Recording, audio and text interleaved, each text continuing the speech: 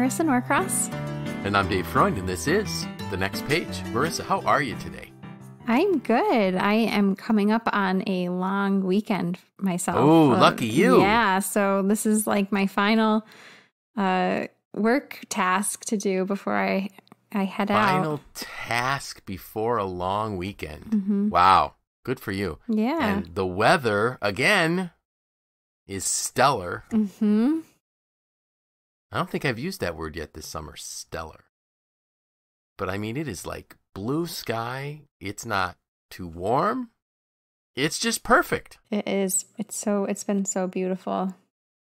My brother sent me a um, a message today because he, he's down in Florida, in the the Boca area, and um, he, he his business is he manages um condos. He like a condo sitting kind of business Mhm. type of thing where he checks on people's condos, and so he's walking checking these condos, and he he showed me he sent me a picture of like the Weather Channel thing for the day. It's really hot. you know and and he's thinking about like imagine walking into all these condos with a mask on type of thing and and and his comment was um the joys of living in paradise something like that. Hmm so i took a picture of the weather channel uh forecast for today in syracuse and i said this is living in paradise so and i felt bad because he really loved he really loves it up here but Mhm. anyways i just had to you know wh- why could i not right Yeah. it's We it is gorgeous We only have so many days we can brag about. right when you know he also loved the winters when he lived Oh, so, okay.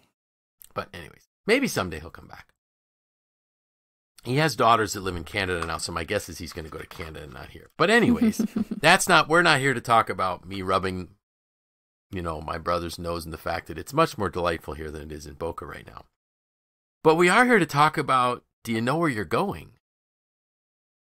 Mhm. So we kind of gave our listeners a heads up last week when we said, you know, last week's um, title was "Don't Leave Home Without It," and it was really the the realization that now more than ever we need empathy in our organizations, in our world, in our country, in our communities. And I had mentioned in last week's post that empathy coupled with vision is really what we need. So today we, we really do need to talk about vision. And and when I started thinking about that, um, I, I realized that there's a lot of people that think about mission and vision, and they think about them as the same thing, and they're really not the same thing. Um, you know, a vision is is what you do. I'm sorry, a mission is what you do. A vision is where you're going. So if you think about mission statement, a mission statement. Well, I can't call a mission, can I? It's, why can't I talk to you? Maybe because it's the end of the day. Trust me, the only thing in my bottle that says Perrier is Perrier. There's nothing else in it. But so a mission statement question would look something like this: What do we do? Whom do we serve? And how do we serve them? Now, those are very, very important things to, to think about. But think about a vision statement that would be something like What are our hopes and dreams? You can tell already we're in a very different realm. What problem are we solving for the greater good? Simon Sinek likes, likes to refer to that as a just cause. And who and what are we inspiring to change? And, and the reason why I'm going to say that that vision is so critical is that when you are leading through uncertain times, your missions and strate- your mission, your strategic plans may go right out the window because nothing is constant in times of uncertainty. So, you know, the way you did things might change. Mhm. The way you interacted with your teams may change. So the strategies, throw them out the window because they're not going to work. But if our vision is there, if we can communicate our vision to our teams, they still know the direction we're going. And and I think the way I wrote it in the post, if I'm going to pull it up because well, it won't even help me to pull it up because my family knows that I don't read what I wrote. I don't even read what's there half the time. I make up what I want. But the point is, think about this. Think about a lighthouse. Um, lighthouses mark harbors. They mark rocky shoals that you could crash into if you don't know they're there. And and the reality is we don't need a lighthouse when it's daylight. And we don't need a lighthouse when there's calm seas. We need a lighthouse when it's dark and when it's stormy and when the waves are beating up against us. Your vision is your lighthouse. Your vision is that future state of, you know, where and, and Simon Sinek said this really well. I was I was watching some of Simon's clips uh, clips today on YouTube. Highly recommend people just do a YouTube search on Simon Sinek. You will learn something with every one and a half minute clip that you, you watch. But he talked about a vision being something so incredible that you'll spend your entire life trying to achieve it, and you may never get there. But it still just inspires you and draws you because there's something something meaningful in a vision. And if you think about our teams, what are they looking for now? They're looking for something to rally around. They're looking for something to draw them together. They're looking for something to distract them from the reality of do my kids go to school five days a week, three days a week? When does school start? Our vision can be the constant that they're looking for. And I loved how Simon did this too. He actually took us, and, and one of the things I was listening to, he took the listeners back to the founding of our country. In, and we've used this, we hold these truths to be self evident. And he said, think about that statement, the preamble to the Declaration of Independence. That's a vision statement. And for more than 200 years, people have fought and died to, to, to strive toward that vision that all men are created equal and have the right to life, liberty, and the pursuit of happiness. So that's the power in this vision piece. Now, Marisa, when I was when I was writing about this, was there any did you make any connection or was there any confusion between the why and the vision? Because you know, I've been a person that's always talked to you. You and I've worked through mm-hmm. me finding my why and, and we communicated that to our listeners some time ago.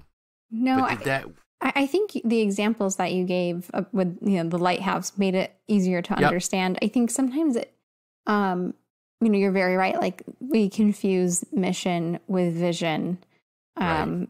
and I, sometimes I mean this might just be a problem that I have. It's like I have an understanding of the difference, but it can be really hard to describe.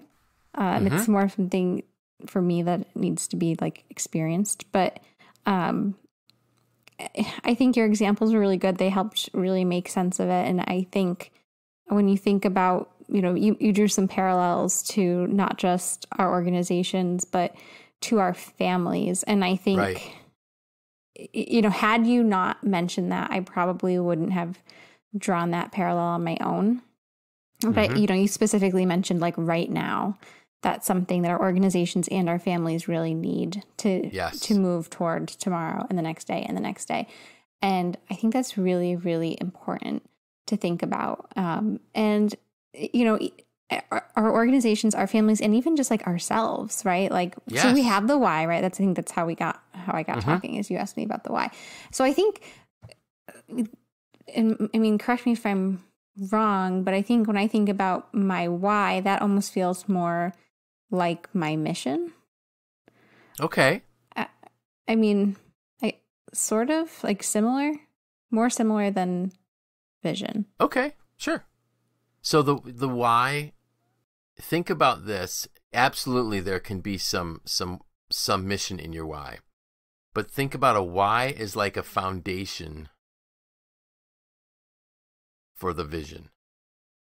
Yeah, that makes sense to me the if you think about building a house, your why is your foundation. Simon Sinek, cause, and I cheated, so I actually kind of looked up what Simon Sinek thought the difference was between vision and why. And he said a why is looking backwards, and I'm like, what? That doesn't make any sense. But but when if our listeners remember when I went through my finding my why, mm-hmm. it was reflecting on your past. So he said your why is a is derived from your past experiences and what things moved your heart in the past. So he said, that's the foundation. He said, your vision is what the house looks like. And I thought, wow, that's that's kind of cool. Mm-hmm. You know, yeah. and if we can inspire our our children, you know, our spouses, our our peers, if we can inspire people with this vision of a future state that's the vision. People can rally mm. around that. And and the danger in holding up the mission or the strategies when we're in uncertain times is they may not be applicable anymore. Mm-hmm. Um, well, I'm I'm going to try to use a, a home example instead of a work example. So if if part of my let let's say my vision for my children is that they become productive contributing citizens. Good honest productive contributing citizens making a difference in the world. And some of the goals the strategic planning might be especially when they're in in you know um in elementary school or or junior high school senior high school ages okay so this is the goal would be next year for you to apply yourself in these kinds of classes and you're going to do this and that and something else and we plan it all out and and all of a sudden we aren't sure if we're going to have school or are we going to have school virtually or in person? Maybe part of the plan was this part of the strategic planning was let's say we had a we have a child that really is very outgoing um, a person that loves to collaborate with others and we're saying you know your goal for this year would be to um, go out for the football team uh, go out for the the the cheer squad um, run for student council um, be on the yearbook staff and then all of a sudden you find out those might not happen all so if we focus on the strategy we can get really confused. Mm-hmm. But if we take our focus back to say, okay, what is our vision? Our vision is for you to be an, a complete person, a person that engages well with other people. How do we do that in this environment as opposed to what we thought we were going to have? So that to me, that's the power of the vision. Mm-hmm. You know, when and the other thing, if you think about the um the analogy that I gave of the lighthouse, um, it's interesting for me when I've when I've been out in a boat and I have a focal point that I know where I want to go. And I can I can kind of see that, but if I don't pay attention, it's real easy to have winds or currents pull you off course. And you don't even know it until all of a sudden you look back up at at the the focal point and you're you're coming off the mark. So when we get into uncertain times, I kind of use the example of of a ship in in my writing. But we get knocked back and forth. You know, the waves are splashing. Um, sometimes, and sometimes, I've had this too, where you can't see the landmark until you come over the top of the next wave. So you better have somebody that's focused on the vision because you're going to have to do course corrections. And that's what I think uncertain times are. They're just waves and winds and storms that push us off course but we can always come back if we know exactly where the the lighthouse is. Mm-hmm. Um, yeah, I think you, know, you mentioned earlier too. Like right now, is it? And there are many times, not just right now, but where thing like most things are inconsistent. There's yeah. um, things that will not remain constant. Um, right. Times will be unpredictable. Um, and I think the vision is something that kind of defies that, right? Like it it gives yes. you something to to look at and say like, okay, but this is still here. Right. Like this is still where we want to be, or yep. this is still the person that I want to be, or yes. Um, and it's and it's just like, okay, so how do I change what I'm doing? How do we adjust that strategy, that strategic exactly. plan? Exactly. Um, you know, maybe I think you know missions don't tend to change too often, but they do change. And I think right. a lot of companies are going to be looking at that right now as yes. you know maybe their delivery methods are changing or right um just the the we've got members who are diversifying their product lines and mm-hmm. totally changing what they're doing so I, I think it's really important to to remember that like and then to also communicate and and make have a lot of clarity around the vision especially Absolutely. now especially when things feel yes. so crazy and um and just so turbulent and unsure it's important to have a lot of clarity around that vision right you know a, a leader you as a leader you can't over communicate vision mm-hmm. Let me say that again because it's kind of convoluted. You can't over communicate vision because vision leaks. Vision doesn't, you know, it's easy for us to forget the vision when the waves are slamming up against the boat. Mm-hmm. But the so the leader keeps reminding the people of what the vision is, sharing the vision, sharing the inspiration, and and and finding ways to make it very visual for their for their teams. And, and there was an interesting thing that that Simon Sinek was saying when I was looking into this. He said, "We can't, or we can only see things that we can put into words." Which I thought was really interesting. E- mm-hmm. Even though there's parts of our brain that, that aren't capable of words, but for us to really see a vision, our leaders have to be able to articulate it. And they need to think about it. And the clearer you are, the better you can describe in words, the better the people can see it. So as leaders, we have to really, really clarify what is our vision? What where do we believe our organization can go? As parents, what is our vision for our family? What you know, what types of interactions do we really want our, our family to have? Um, where would we like our children to be? And I don't say that in terms of success type things, but you know, as as as people, what what what do do we envision them to be? And I'm hoping that we're going to say is we want them to achieve their fullest potential, to be the fullest version of who they want to be, that they can be. Now, how do I get there? You know, how, and and I think it's by valuing the by valuing the child, by valuing who the child is, by affirming their giftedness, doesn't mean we don't correct. We absolutely have to correct, but valuing giftedness and helping them, um, helping them develop that giftedness, not not hammering on shortcomings, but celebrating giftedness, which is a huge difference. And and in, and in the times when when when the waves are beating and the rain's falling and it's dark and stormy, those are things that are going to carry families through it. That's what's going to carry our teams through through stormy times too. There was a great quote that Simon Sinek said. He said, A leader without a vision is a follower. So every leader needs to think about that. If you don't have a vision, you're not a leader, you're a follower. And that should wake them all up to say, okay, what am I missing with my vision? So one of my thoughts was, so how do you develop a, a vision? And, and I think you start by dreaming big. You know, what so I, I had a couple examples that I found.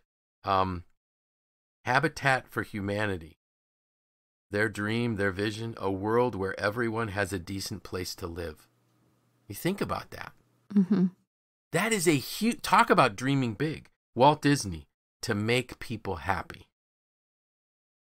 Cold Stone Creamery, the ultimate ice cream experience.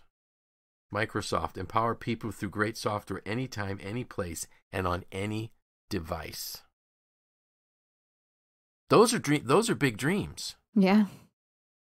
But you got to dream big because that's and and what happens is your vision your vision is so maybe I can put it this way. A vision is very inspirational. And it's and that inspiration is not dependent on success in the moment. A mission can be inspirational, but oftentimes is dependent on so its inspiration is dependent on us being able to be executing the mission that's why it's so important to have the vision first and let the mission trickle out of your vision your vision is what you do and who you serve your your mission is what you do and who you serve your vision is why are we doing this and what change in the world can we really make that's going to be a positive impact. As Simon Sinek would say, what is the just cause that you that your organization exists for? And the neat part is when you have that clear vision, it's really really hard to be discouraged because you just keep looking for the, the another way to implement your vision. So again, it's empathy. Empathy's key. But empathy without a vision doesn't take people to a better place. So you have to couple empathy and vision to get to a better place and to stay on course when things look kind of crazy. Mm-hmm. And hey, they look crazy. Now, I will I will say this. I think those of us that want to believe that things were more certain, we're probably just in the past we're probably just deceiving ourselves. We just didn't realize how uncertain they were. So that should kind of be comforting to us that we can become really, really good dealing with uncertainty. Does that sound like a logical statement that we can become really, really good at dealing with uncertainty? Yeah, it is. Mm-hmm. I guess it's a logical statement, right? Because we always did. We just didn't realize it. Right. We I... thought that what we had was was was certain, but it wasn't. Right. It may have been a little more predictable or a little bit more mm-hmm. routine, but it was not yes. certain. Thank you. I like that. It might have been more predictable. It was certainly more routine, but it was by far not certain. Mm-hmm. It was filled with uncertainty. We just didn't know when the next wave was going to hit us. So right. it's almost as though, you know, if I'm, since I'm going to go back to a boating metaphor, get back on shocking, that boat. shocking. Soon, soon. Very, very soon. I will give an update before we're done on the boat. Um, haven't talked about it for weeks and weeks. So, um, it's easier to go through predictable, like ch- rough waves. Mm-hmm. If you, if they're predictable, it is easy to keep your boat on course. It's really hard when you get a rogue wave on a calm day type of thing because you didn't see it coming. If, if people are people that are on boats know if you're on a fairly calm lake, but there's a lot of boat traffic, it is really really hard to maneuver your boat because you never know when that next wave is going to come mm-hmm. across you. But if you're out on a typically windy, rough day, okay, I know it. I know I need to keep looking. I know I need to be aware of the waves that are going to come. So you keep your eyes open, you're alert, and you have no trouble going through it. The rogue waves are the ones that kill you. So if I know things are rough, I'm alert. So I honestly think it can be easier for us to lead when we're finally off cruise control and we're we're working through the uncertain times. Provided we see our our our lighthouse, we know where it is, and we keep going in that direction and to make sure when we travel, we travel with empathy. I think I'm done. It's it's a it's a you know I'm glad I like your example. I know we always joke that you come back to to boats, but I think it really does help explain something that can sometimes be hard to understand the difference. Yeah. Yeah. So here's the update on the boat. Okay. So about six weeks ago, I gave up on trying to make the engine run. I took it out again. I took it to someone who actually somebody picked it up for me, took it to a motor builder who has completely rebuilt the entire motor, remachined the cylinders, new pistons. I won't get into all the details. And this evening, technician Tim and I will put it in the boat. it's all rebuilt, and I didn't screw it up because I didn't do it. So no, um, there were some things that none of us saw that were structural issues within the intake manifold. I won't get into details, but there was a broken piece that none of us saw, mm-hmm. and that was the root cause. But while they were replacing that, they just pretty much made it brand new for us. So hopefully by the next time we record, I will be able to give you an update that all is well. Good. It's been a, long journey.